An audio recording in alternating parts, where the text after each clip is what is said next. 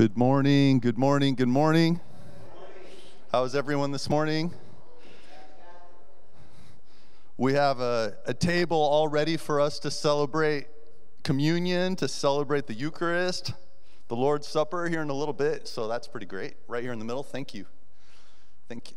I saw, I think it, I saw Nicole working on that. Thank you for making that happen.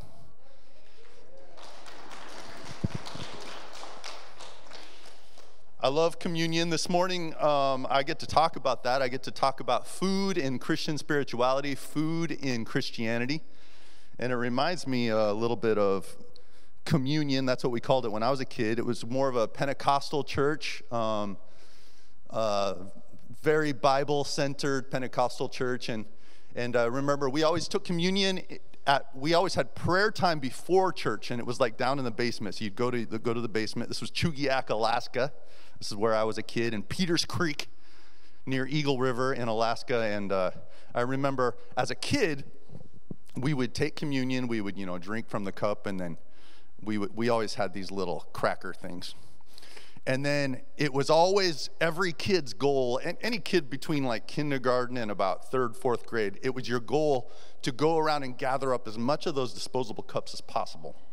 And you had to really hustle to, like, you had to to make it happen because when you made it to where you gave them to the person who was, you know, giving the, uh, the, the cup and the bread, you wanted to have the most.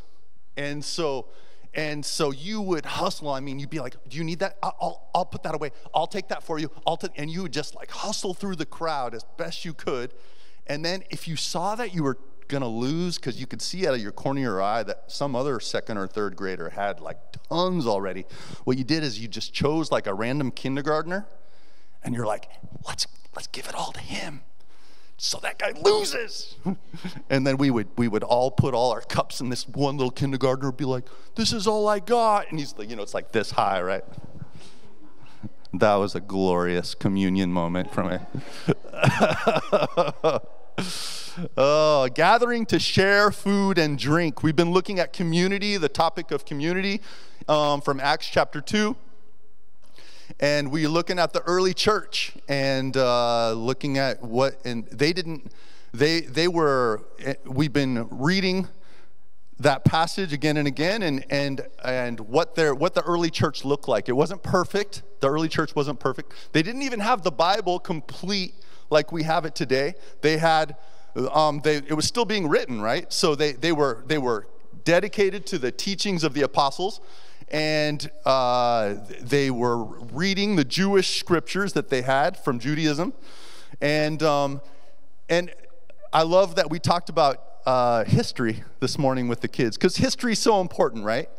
Because uh, as Christians, one of the reasons history is so important is that we believe that the Holy Spirit inspired human authors to actually write the Bible, which is this miraculous thing that, that the Holy Spirit could inspire regular people to write the Bible. And then the history component is so important because we believe as Christians that over time, the Holy Spirit inspired the church, followers of Jesus, to go, I think that's actually a part of that part of the Bible. I, I don't think that is.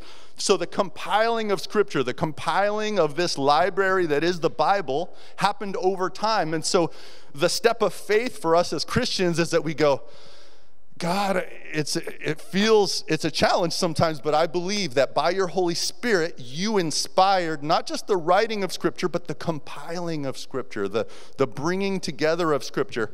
And then today, as we're reading Scripture, the reason I'm going to go to the Bible again and again in the next few moments is because as Christians, we still believe that the Holy Spirit is inspiring our hearing of the word, inspiring us by giving us grace to actually try to live this out and connect with history. And sometimes when we look at church history, uh, it's very humbling, right? Because we're in new, uh, God always has this way of reaching into every, any context, no matter where we're at, and just doing his good work. God doesn't wait for us to get it all perfect um, to start working in our lives, right? So you see that in the Bible, you see that in church history, you see that today, right? When when the whole entire planet began to do church online during COVID. Um, not the whole entire planet, but much of Christianity decided to do that. That was a new thing, right? It's like, how do we how do we look back at church history and go and and how do we do things like the Lord's Supper? How do we do things like communion? We have this new technology. How do we live this out? Uh, and some churches decided, you know what? Looking at church history, we don't believe that that technology holds on to the pieces of it that we want to emphasize. And so there are people right here in Sudden Valley, some of my neighbors, when they for them to to celebrate the Lord's Supper, communion, Eucharist, they went to church one family at a time um, over on the way to on the way to Bellingham uh, at their church, and and God bless and and so and it's really important for us as a for we as a church to not not look at that and go oh well we're so beyond that. I mean get with the times. You I mean there's this thing called Zoom right? Like just pray over it and take the bread. You know like like we could have an attitude like that but no as Christians we care about church history. We care about the, whole, the Holy Spirit's work over time. And so we go, yeah, we as a church, we've decided to be okay with people online just gathering up some bread at home today and some juice and taking communion with us.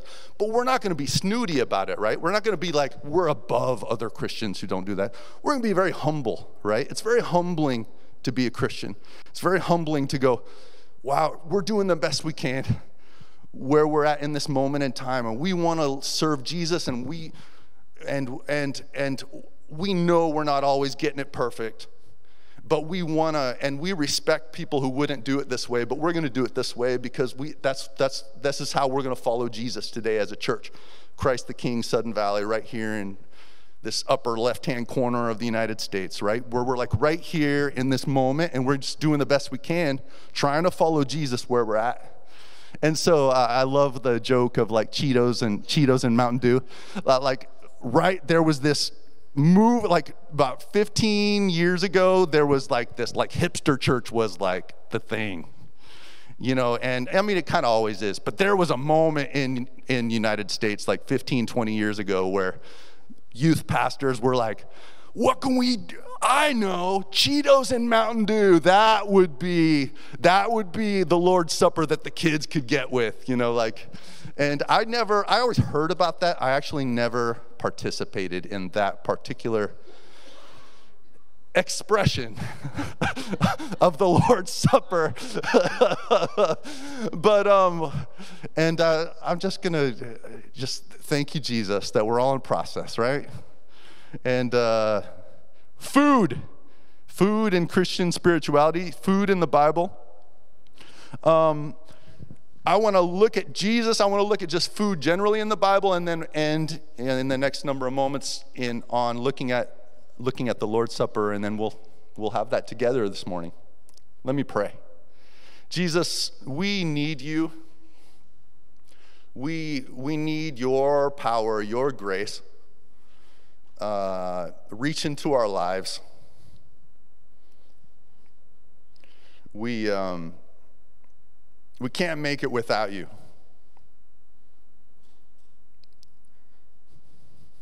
Help us, Jesus. Help, help, help me. I pray that in the middle of my words that you would highlight stuff for people's hearts, that you would highlight um, your word and uh, reach into our hearts this morning. We love you, Jesus. Amen. Amen. Amen. Food is fun to talk about. My first point is that the entire story of Christianity can be told with a meal. I read that in a book years ago. This topic has been on my heart for decades. It's been something that I've just always really cared about. I've been around lots of expressions of Christianity, lots of different streams of Christianity that think quite differently about this. And so it's always brought up a lot of questions in my heart, a lot of dialogue with God, like, why do they do it this way? Why do we do it this way? What's, what's that all about? And um, in that dialogue, I've just always been, uh, I've, I've, been, I've, I've, just, I've cared about this topic quite a lot. And I remember reading in a book, I couldn't find it, I couldn't, that this idea of that all of Christianity, the entire story could be told with a meal.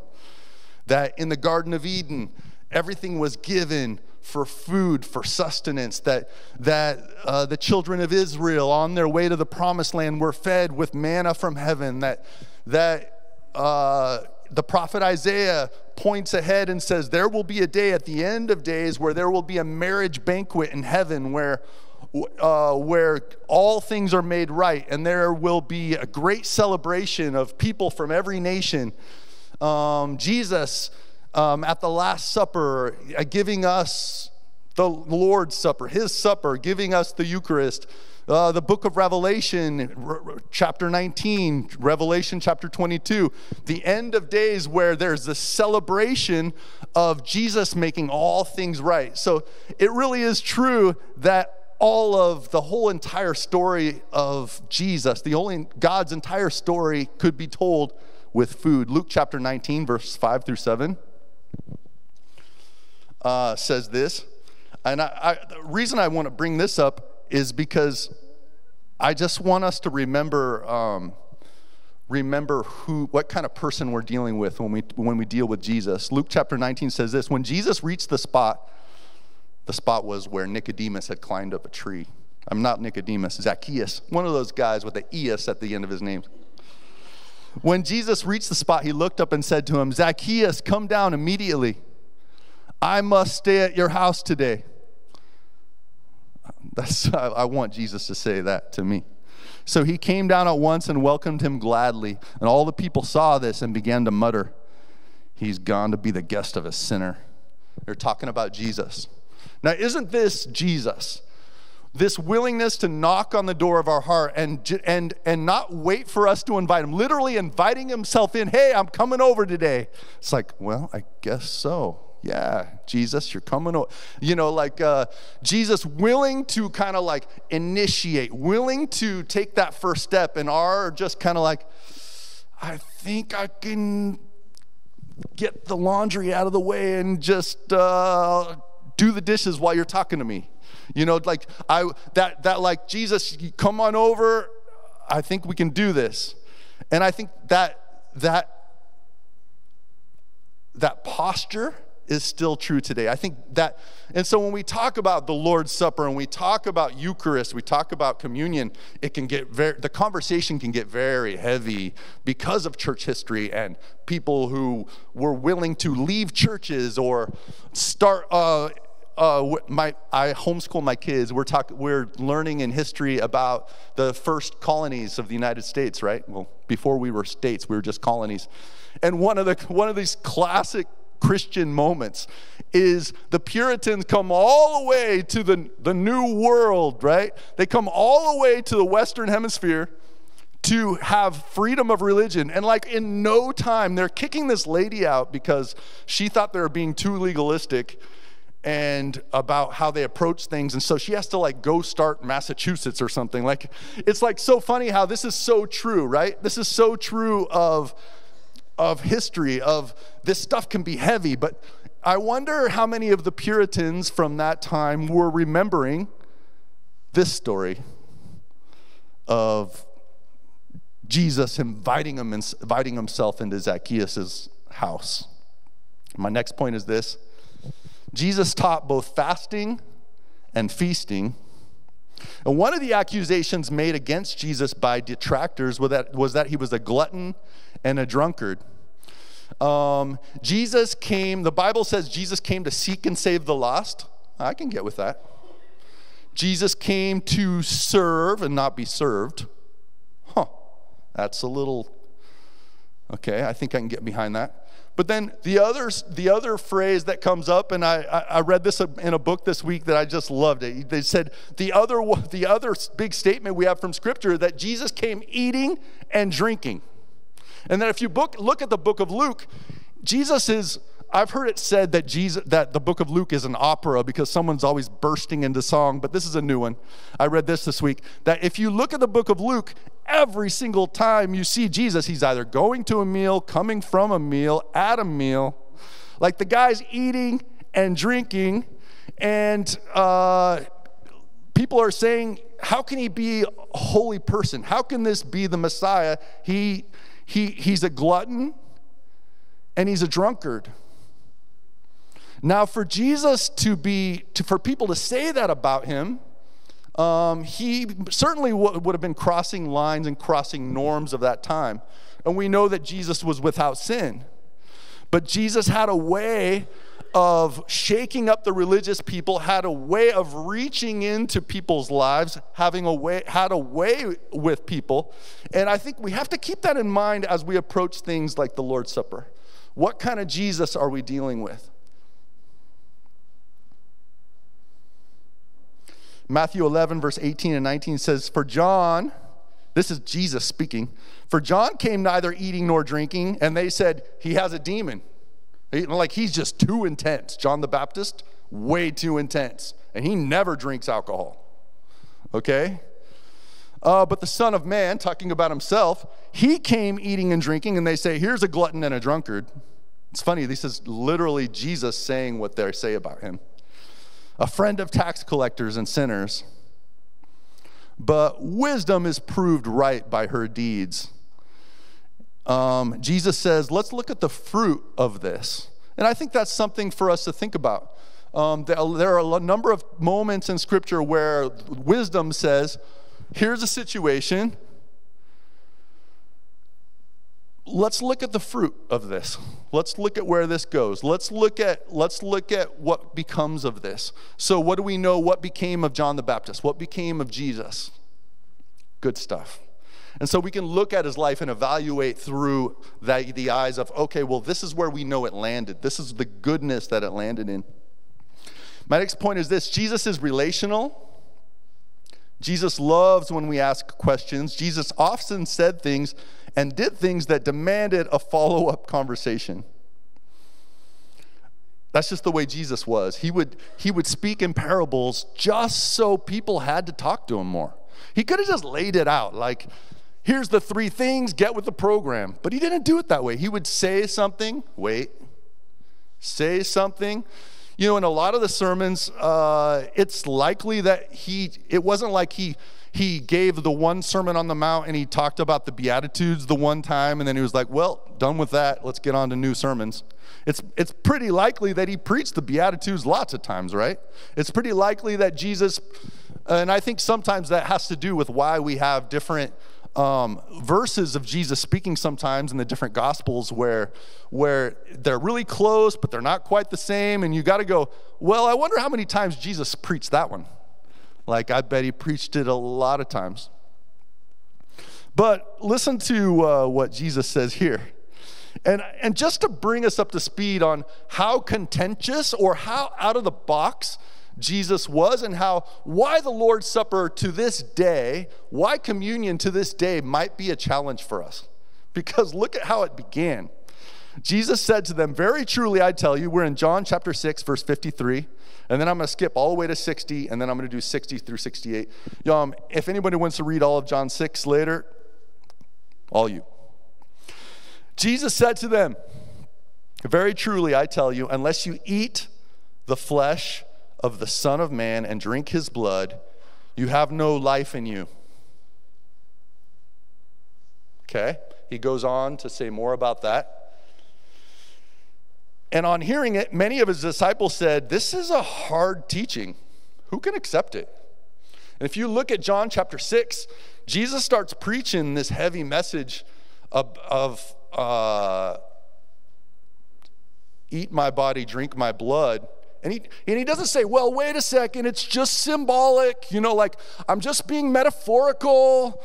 Uh, like, I'm, I'm just, Jesus just lets it sit. And, you know, and I think that's kind of the way Jesus was. Like, he wasn't going to over explain. He was going to, like, he wanted the dialogue, he wanted, he wanted the conversation.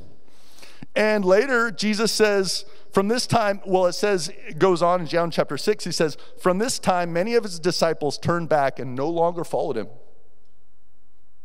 Whoa.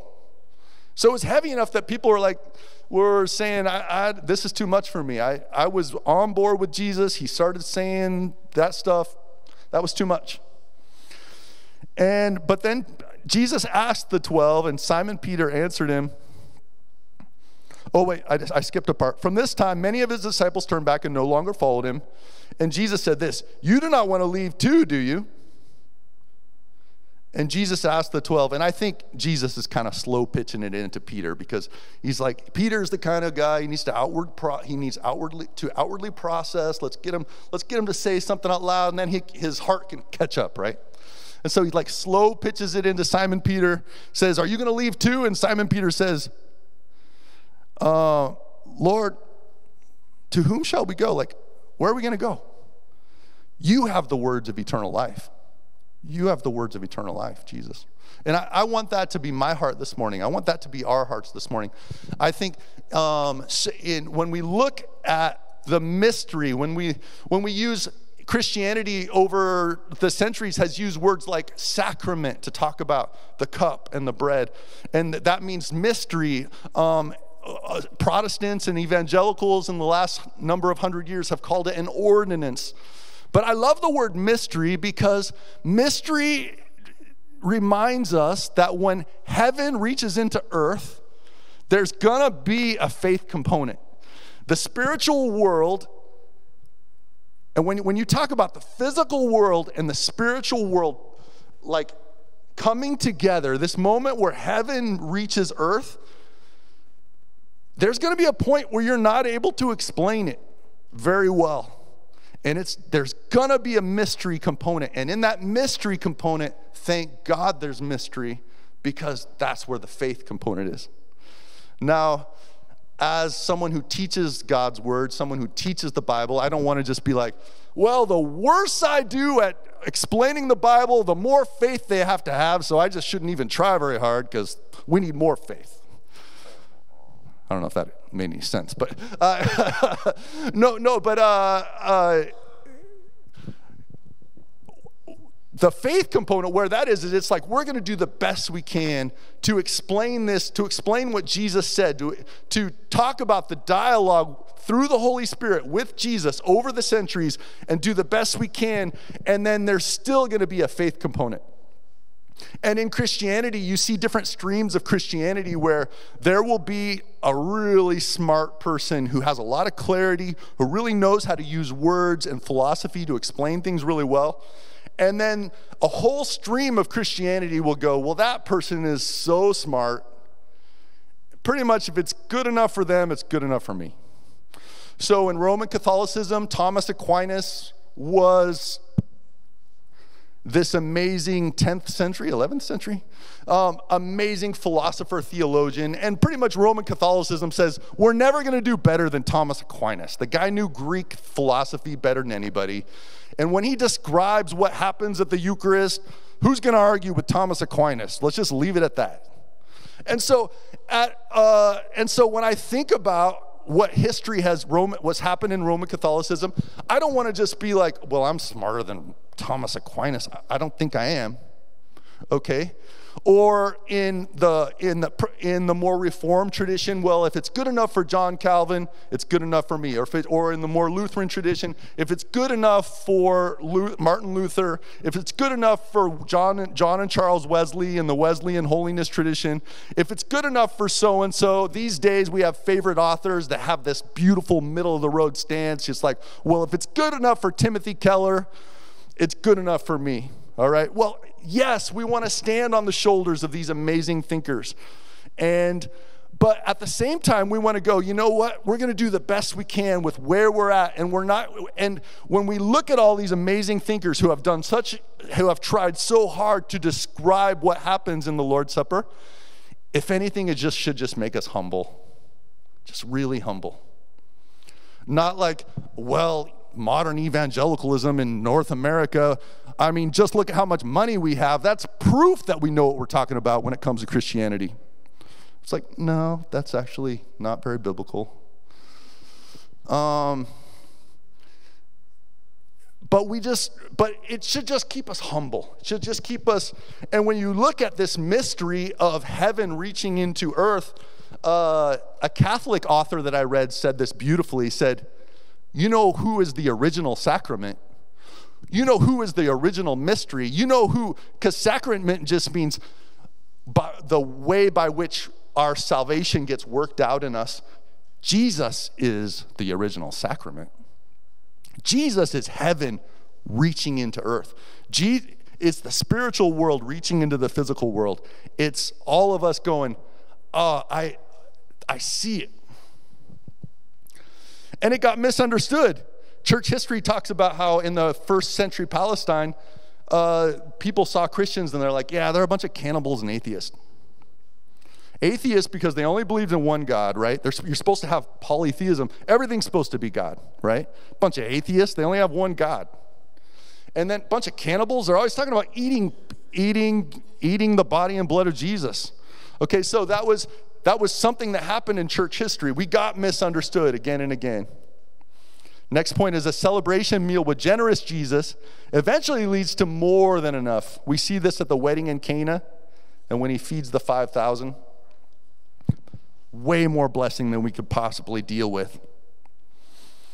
We know those stories of Jesus turning water into wine. Um, we know the, the and and you you find out about this and you go, okay, yeah, so we use Welch's grape juice and we've decided to do that, but that doesn't. And Jesus, for some reason, turns water into probably what what uh, Bible historians would say is probably a thousand bottles of wine. Why would Jesus do that? It doesn't make sense. Like, that's excessive.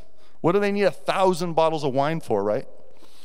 Um, we don't know. But we're doing the best we can. We're using juice for a, our context, for our reasons, in our time, and we go, we think it's wise for us at this moment in time at Christ the King Sudden Valley, we're going to use juice. We, we respect that through the centuries, wine has been used way more than juice, okay? But it isn't, but we don't think we're all like better than all of church history because we use Welch's grape juice, right? No, we just, we, we just, with humility in our heart, we go, we've decided to land here. We're going to do it this way. The Bible talks about unleavened bread. Well, we have this beautiful avenue bread probably over there, you know, just cut nice in half, or, or it looks like we have, um, you can do the cracker approach, or if also you're just, uh, if you want to do like the pre-packaged, everything in a package, you can grab one of those this morning. Beautiful. That's where we've landed. With, with humility in our, in our heart, with gentleness in our heart, with the fruit of the Spirit in our heart.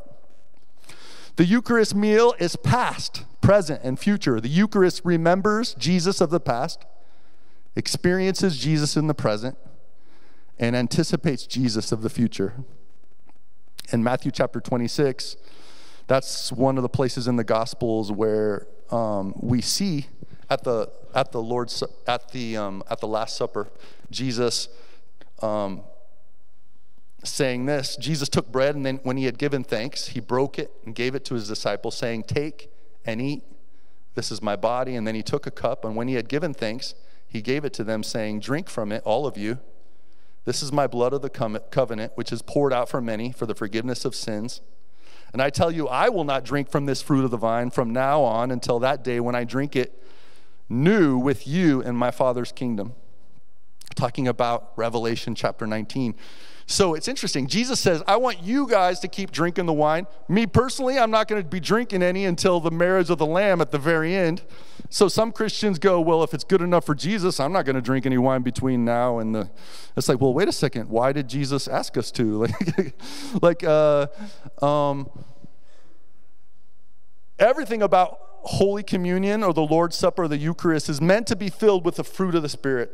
And as best we can in the context we're in, how can we have more humility, more forgiveness, place more attention on Jesus? Um, one of these days, when you're, it's very normal in Christianity for us to say things like, I wish we could be more like the early church. I wish we were more, because um, back then they really had it figured out. Um, I mean, we don't preach those exact words, but it's easy to come across that way. Like if we could just get back to Acts chapter 2, if we could get, now it's true, there's so many parts of, so many strengths of the early church, right? But if you read First Corinthians, Paul has to kind of like lay down the law because every single possible thing that you can imagine is going wrong at the church of Corinth.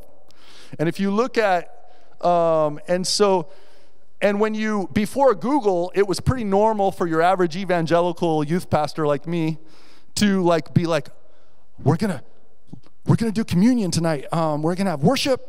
And last minute, I decided we're gonna do communion. Do we have any bread? Is there some juice in the back of the church refrigerator? Uh, where is that passage? And before Google, you'd be trying to find it. It's in the Gospels, right? Like it's at the Last Supper. Like why, why?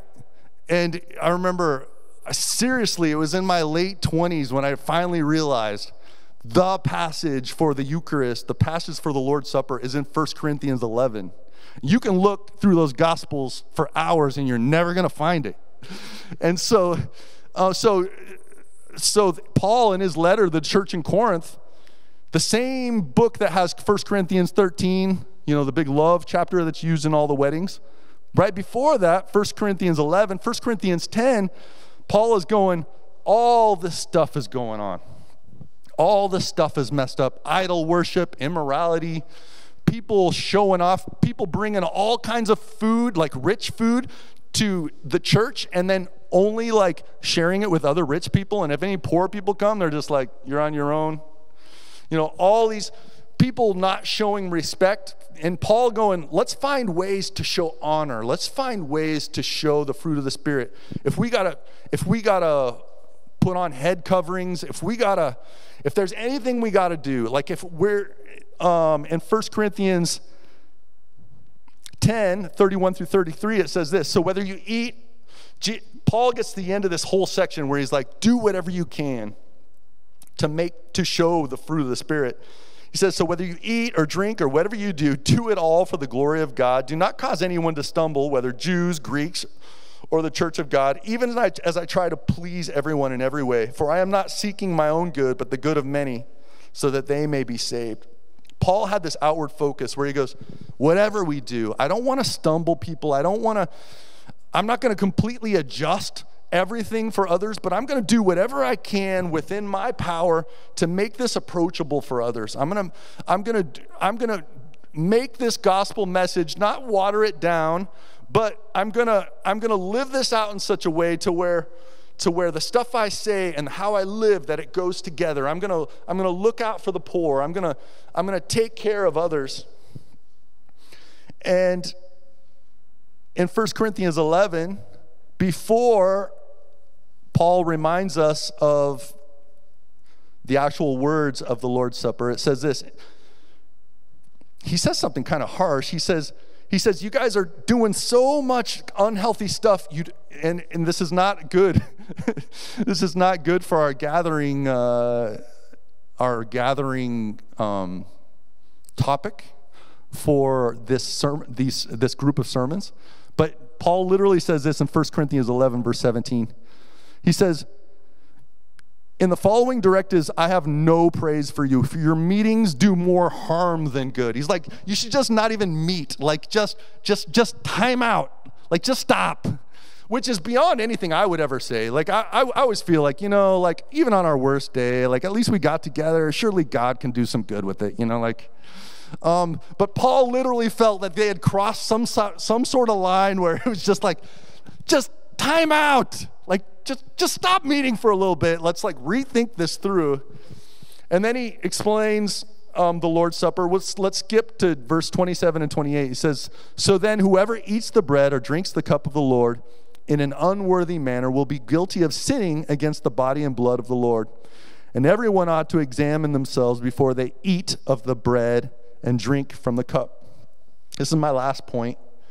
But it's very normal in Christianity to talk about being worthy of receiving communion. And on the surface, it's like, yeah, well, I got to get my act together so that I can go to communion, you know, like that makes sense, right? But you think about this what is the death and resurrection of Jesus all about? The only reason Jesus even died is because you're not worthy. What, like, what is the Eucharist about? The Eucharist is about embracing Jesus, who you've got to have because there's no way you're ever going to be worthy, okay? So becoming worthy, and over through church history, there's been a lot of like, um, you know, they'd have a token system. If you were Presbyterian in some parts of the world, you'd get this like little voucher that says that you confessed your sin. You can go once a month to do your. There's all different kind of ways that Christianity has tried to figure out a way to like make sure people are worthy. But I, and with humility in my heart, I respect the wisdom of all these Christ followers through the centuries. They knew and they're in context different than mine, and I don't even begin to understand all the decisions they made as churches. But right here, right now, I really believe that the only way that we can become worthy is by going, Help me, God. I'm not worthy. I want to follow you, Jesus. I need you, Jesus. And uh, I, I had the privilege of going to an Anglican seminary and in the Episcopal Church. And they do such a good job with written prayers and the Book of Common Prayer and looks at each of the components of what would make a good Eucharistic service and goes, Well, this is the best possible prayer of repentance that exists in the English language, in our opinion, so we're going to put it right here in the prayer book. And I thank God for the prayer book. I thank God for Thomas Cranmer and people who wrote in the English language some of the most amazing prayerful written moments that even as a as an English literature person a person should read, right? But right here right now, know what I think the most important prayer on the planet is for we as Christ followers is this. Help. Help. Help, God. I need the mystery of whatever it is that happens where heaven reaches earth. And um, however this works, I know you are the bread of life. I know you are the living water. I know you, your blood was shed for me. However, I can enter into that as best I can, I want you, Jesus. I want the changing thing of you, Jesus, in me right now. And so, if the band can come up and um, and uh, just as they're coming up, if everyone just when you get a moment, um, don't um, eat the bread or drink the juice yet. If you accidentally do, it's no big deal. Like you, you can even go grab some more if you accidentally do. Or, um, but I encourage you just anyone who wants to follow Jesus, that is the giant hurdle that is like you can participate in communion if your heart says, I want to follow Jesus. That's the hurdle. And then we're just going to take a moment and say, Help me, oh, help us, oh God, make us worthy. And we're going to read 1 Corinthians chapter 11 and take communion together. And so, just as this first worship song is going, you have two, right? Thank you, Price. As this first worship song is going, we'll gather up the stuff the elements, the bread and the cup, and then I will lead you all through. And if you, again, if you accidentally take it too quickly or, or whatever, it's okay. All right, so let's let's worship Jesus, and then everyone. There are different options of how you get the cup and how you get the bread here, and so just grab the one that works.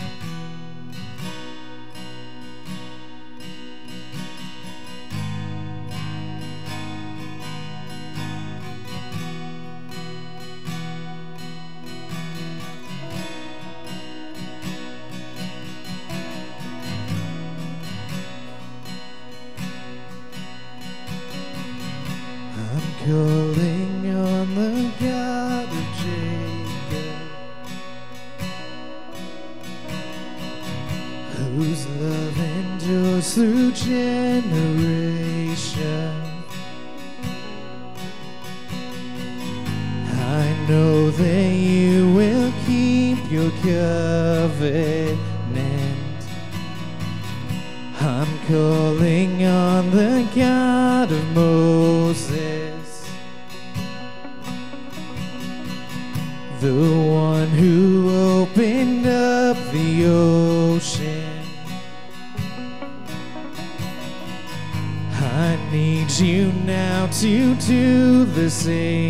for me.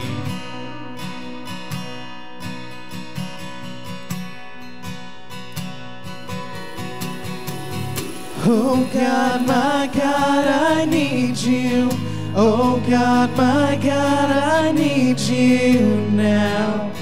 How I need you now.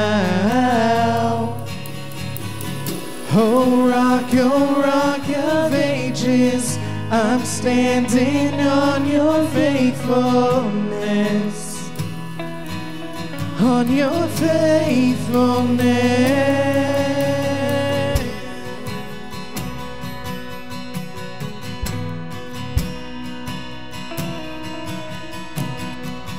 I'm calling on the God of Mary,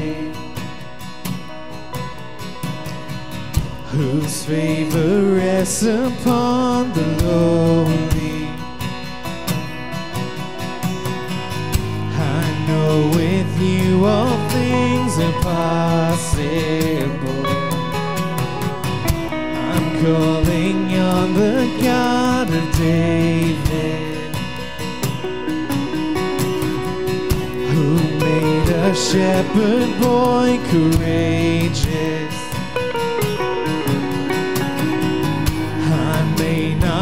Face Goliath, but I've got my own giants. Oh God, my God, I need you. Oh God, my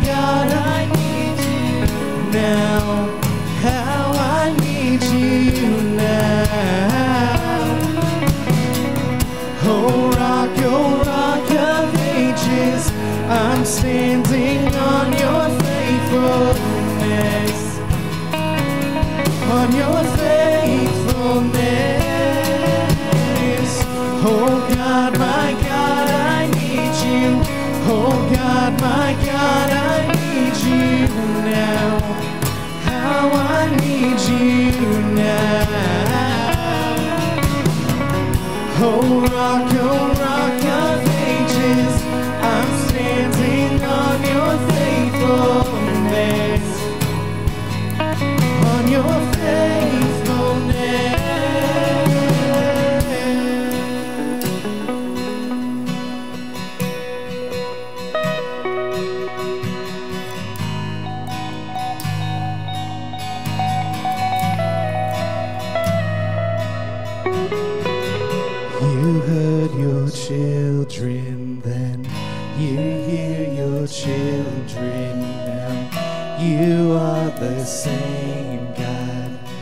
you are the same God. You answered prayers back then, and you will answer now. You are the same God, you are the same God. You were providing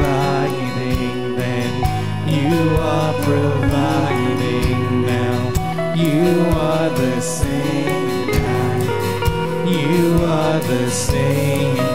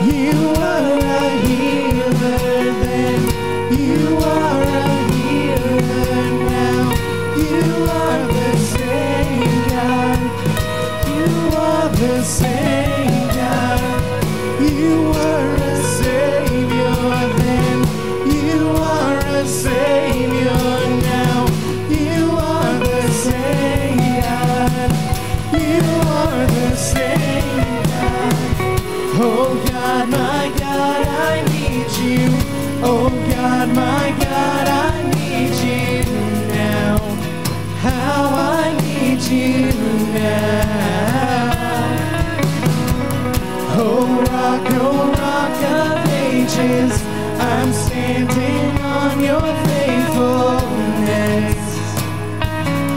On your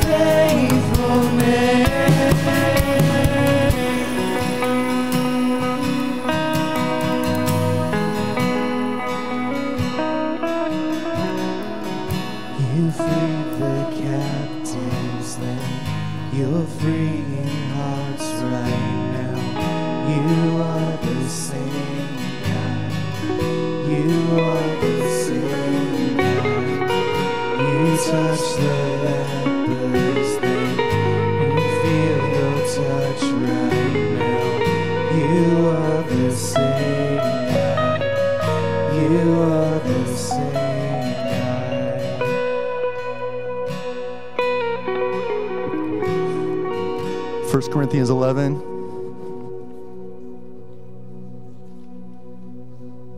The Lord Jesus, on the night he was betrayed, took bread.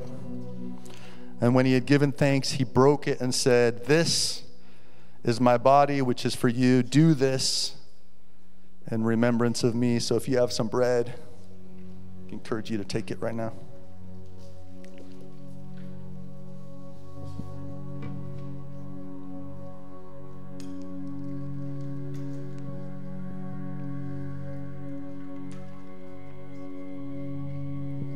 In the same way, after supper, he took the cup,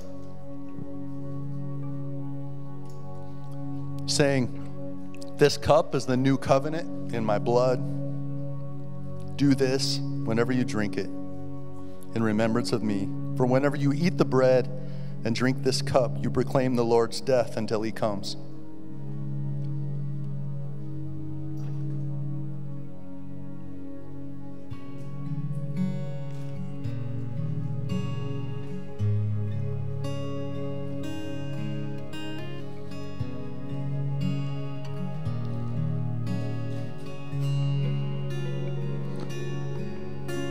Two of the most important prayers are help me, God, and thank you, God. And so right now we just thank you, God. Thank you, Jesus. Thank you, Jesus, gift of our Heavenly Father. We experience you, Jesus, by your Holy Spirit right now. We thank you, Jesus, for your real presence in us by your Spirit. However that happens, however that works, only in you, Jesus, you know how that works. But Jesus, we receive your Holy Spirit. We receive your life, your sustenance. Jesus, we need you. Help us. Thank you, Jesus. We worship you this morning.